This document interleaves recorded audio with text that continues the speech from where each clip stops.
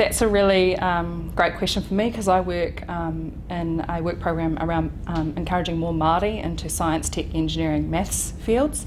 So my whole job is all around um, trying to inspire rangatahi and also to um, ensure that um, staff are creative and innovative in their approaches. So I do a few things. Uh, one of the big things is design thinking and implementing that type of paradigm into the workplace, but also using better by design techniques. So, using items like Play Doh, crayons to get people to visualize um, and find solutions that are not um, through sitting at a computer and trying to type up some stuff. It's actually using your hands and using making and disruption to actually come up to with better solutions.